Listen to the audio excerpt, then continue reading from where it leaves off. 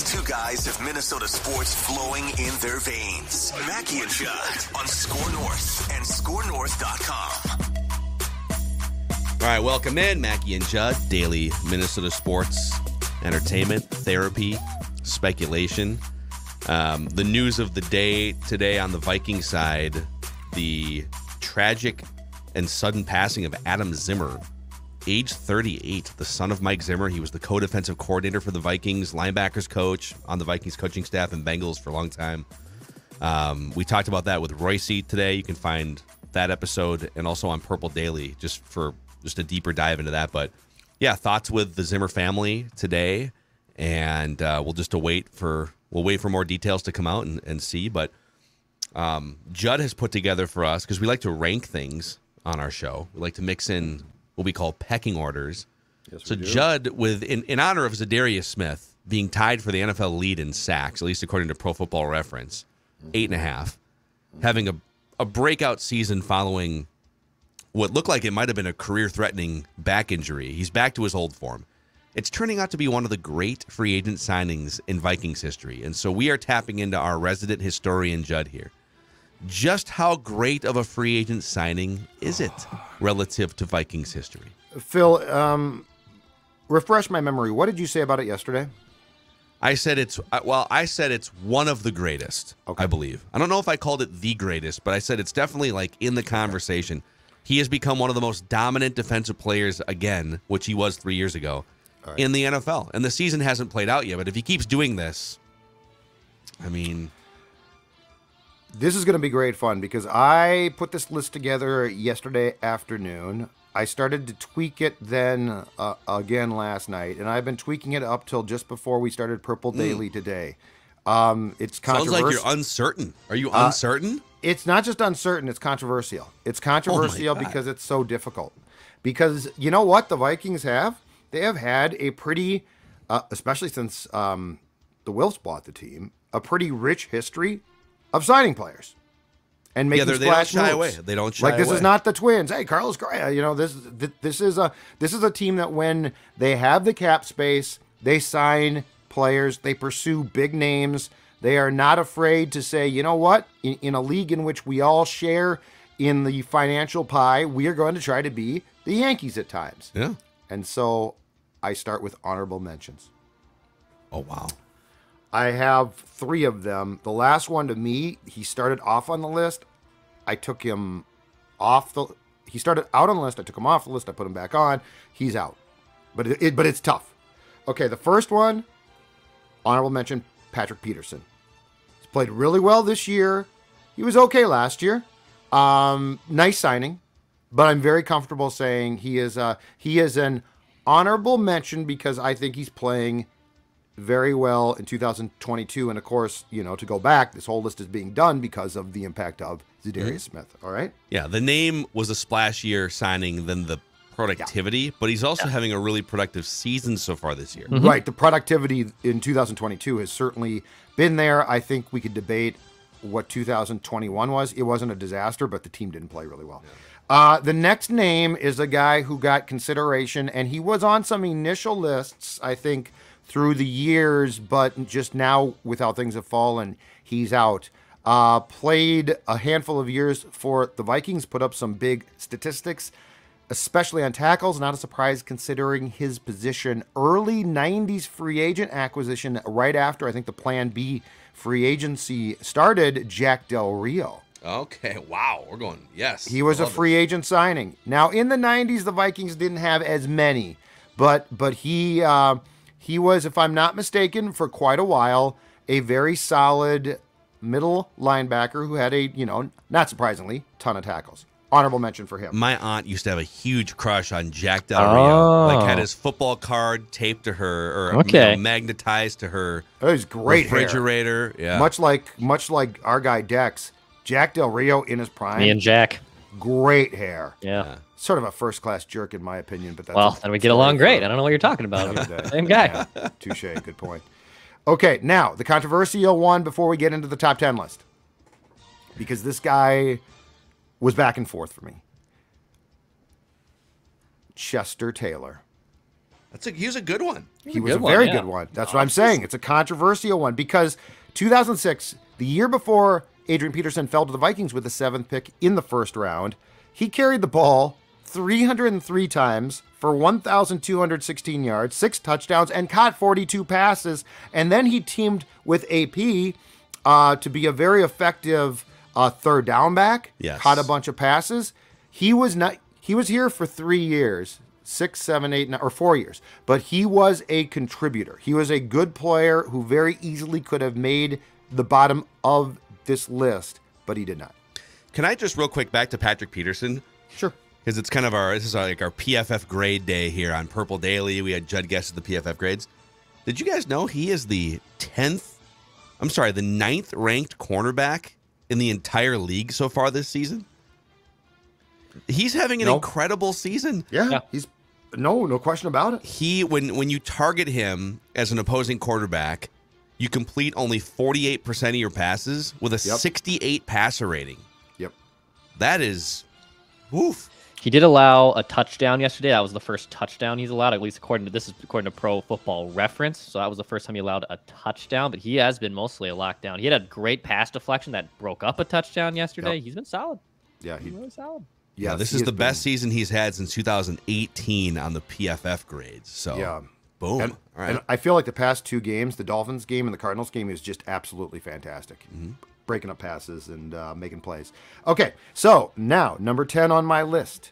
A Viking from 2007 to 11. He got off to a terrible start, but actually was huge in 2009 and was very solid uh, 2008 on.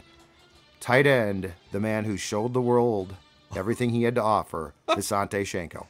wow, this is controversial already. Okay. You're putting Visanthe Shiancoe above Patrick Peterson and Chester Taylor. Visanthe had, well, well, hold on a second.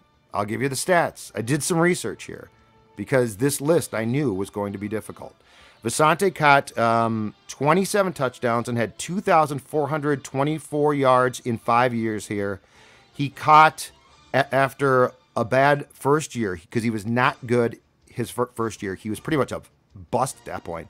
42, 56 in 2009, 47 and 36 passes, and had 11 touchdowns from Favre alone in 2009. I do remember too, just covering those teams on a daily basis as a beat writer for a different radio station. Hmm. And Judd, you were out there too. That Shiancoe, he had awful hands when he got to the Vikings, just ping pong paddle hands. Yes. Couldn't catch anything. He was bad that first year. No and doubt. he spent it was like he was like the last guy off the practice field on a regular basis and he would do these crazy drills where he would stand with his back up against the goalpost and he would have an assistant coach behind him so so he has his back to the goalpost and so the the assistant coach has a goalpost and Visanthe Shiancoe's back in front of him and he would throw pass he would he would yell out when he would throw a pass and Shiancoe would have to like flash around 180 degrees Yeah. around the goalpost and like the ball would be on him and it was a drill to like hey you're going through traffic or you're in the red zone or something and Favre's going to throw a missile Mm-hmm. or T-Jack or whoever his quarterbacks were so I will Not- acknowledge the, and he was a great Royce and Mackey weekly guest for Oh, his I think the 2010 season he was a complete or character. 2011 maybe it was he was always on his massage table when he was doing his interviews He'd just like have someone's elbows digging into I don't his- want to know any more than that, though. Yep. okay all right G- Given what we know now, don't tell me any more than that. Okay, so Shiancoe is number 10. Number 9 on my list. Um, signed in, in the first free agent class that Childress had, which included Chester Taylor. Number 9, Ryan Longwell. 2006 through 11.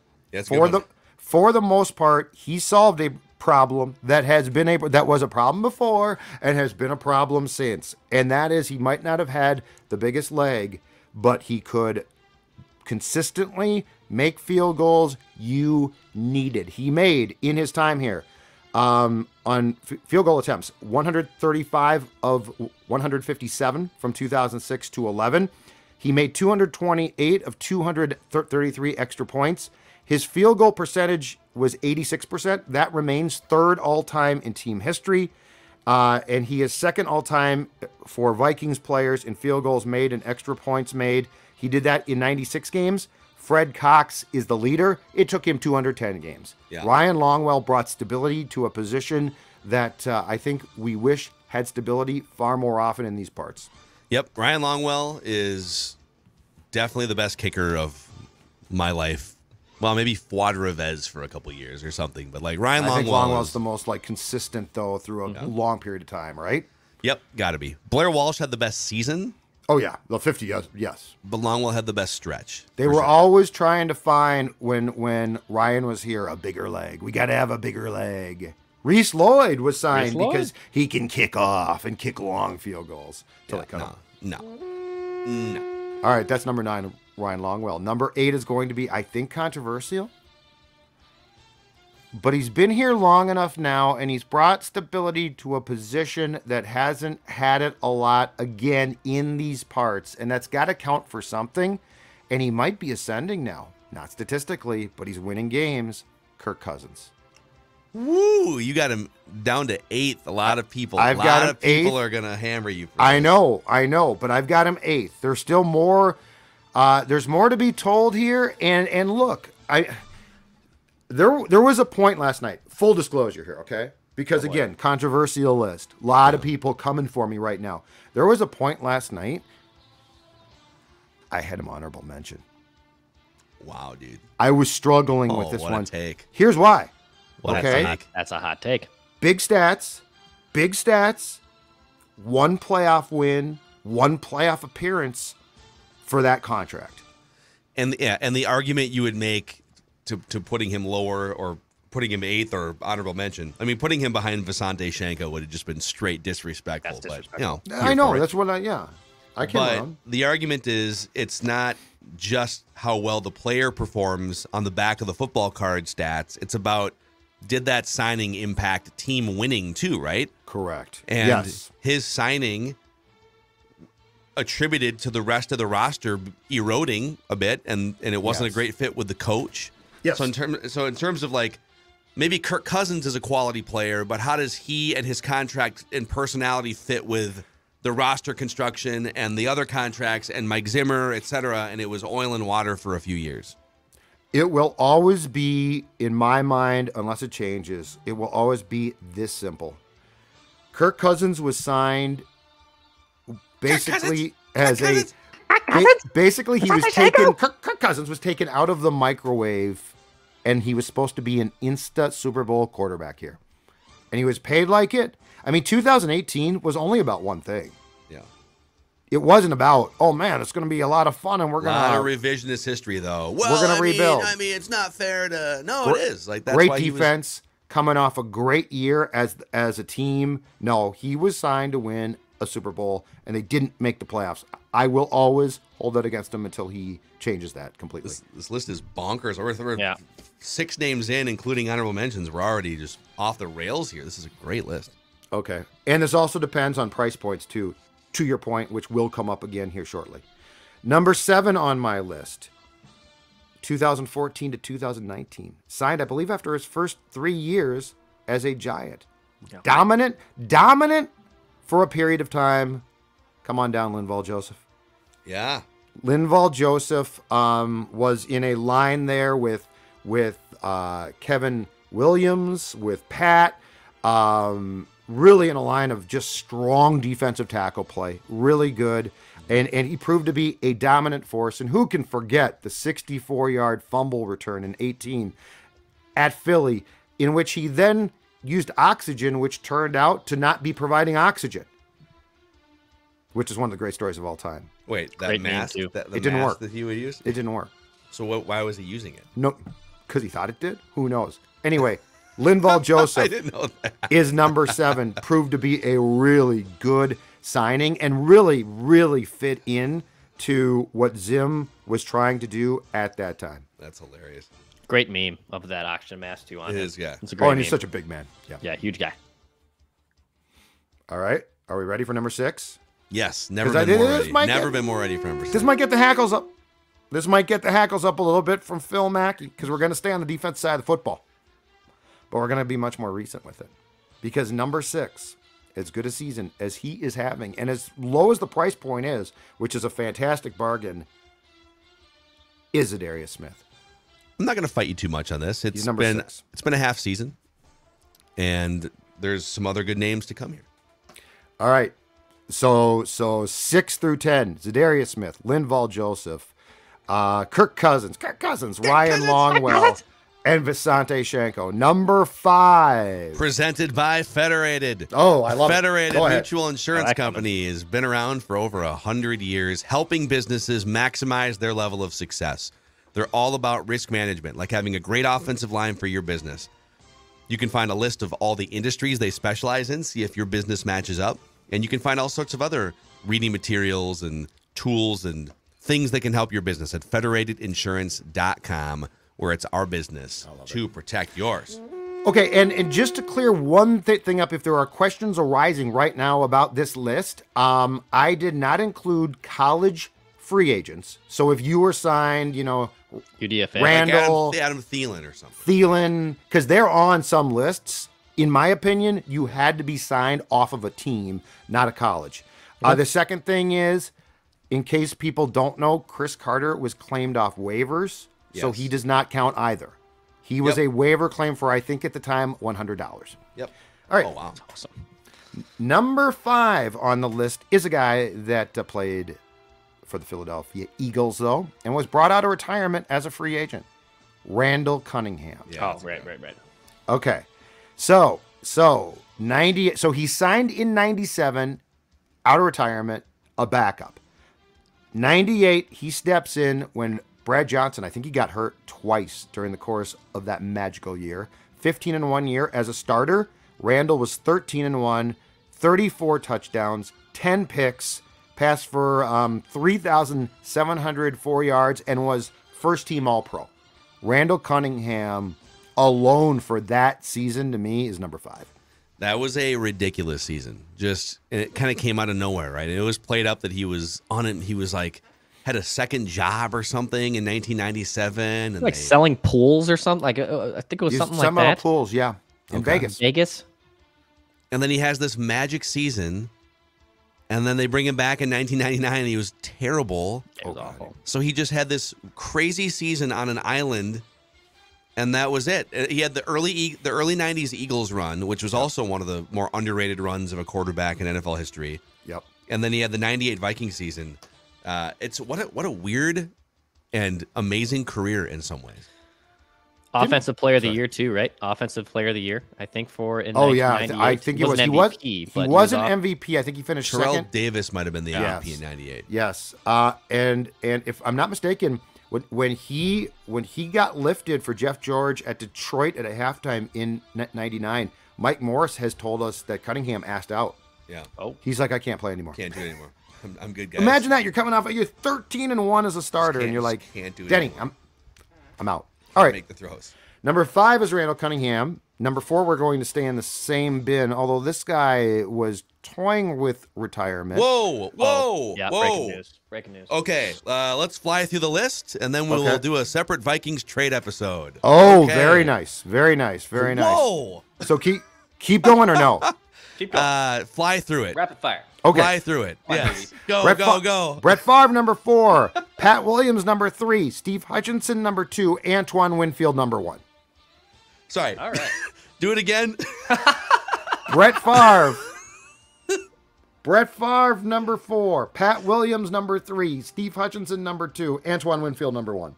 yes. We can stay on this for a second. I mean, we'll we're Yeah. it's the Vikings just traded for T.J. Hockenson, so we will we're gonna do a separate emergency purple daily there. But um, Oh wow. I love this list, dude. I don't know. Can you give me your logic for Winfield number one? I'm not fighting it. I just think it's. I think. I think a lot of people would put Steve Hutchinson. It's very close with him and Hutch, but I mean, but, Favre being number four is even controversial because Yes. a lot of people might say that that's the num- that's the number one. Yeah, right? Favre was one year. That's why.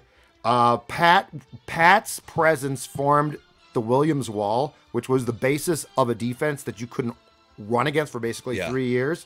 Hutchinson was was I thought about him at one, but Winfield played here an extended period of time. I, I think that he is a borderline Hall of Fame player. And at the end here, he defined the nickel corner spot, which now is basically a starter. Yeah. Uh, and Antoine's ability to be, for his size, to be a, a basically hybrid cornerback, linebacker because that guy hit and he hit, hard.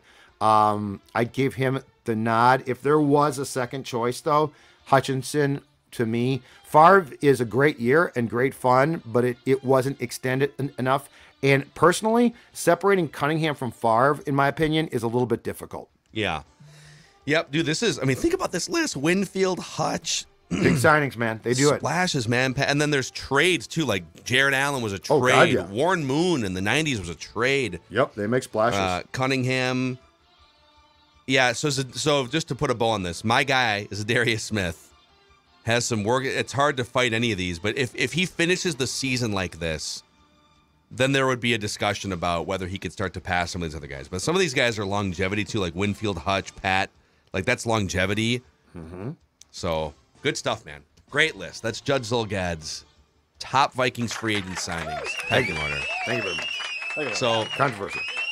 all right, we're gonna we're gonna pause here. Probably give you an emergency purple daily. Um, I've also I've also been notified by Randy in Cottage Grove that he does want to do a stud stable today on Mackey and Judd, so we can we'll negotiate with him on timing for that. But Okay.